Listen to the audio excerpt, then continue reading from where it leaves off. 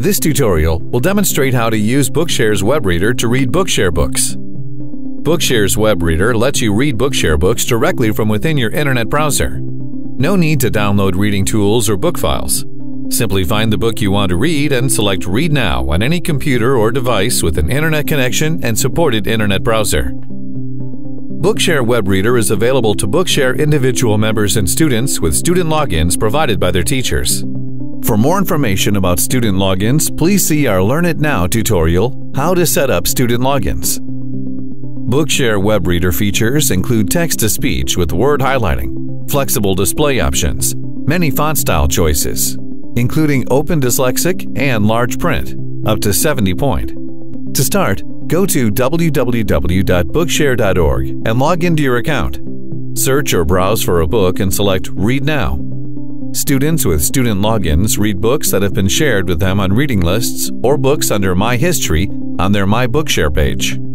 The book will be prepared for reading in your browser. Next, select Play to hear the book read out loud. The web reader will start reading from the top of the current page.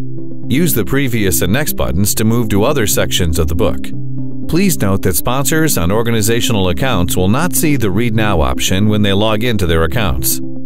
The web reader will use your computer's default voice setting. However, any system voice installed on your computer can be used with the web reader.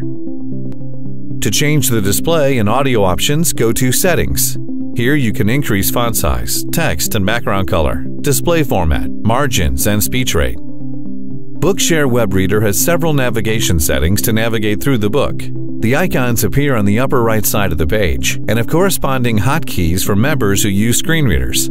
The navigation buttons in order from left to right are Table of Contents T Previous 2 Next 1 Play P Settings O Night Mode On Off N Full Screen On Off F Help H Show Hide Toolbar X. To learn more about other Bookshare topics, visit the Bookshare website, the Bookshare channel on YouTube, Bookshare on Facebook, and Bookshare on Pinterest.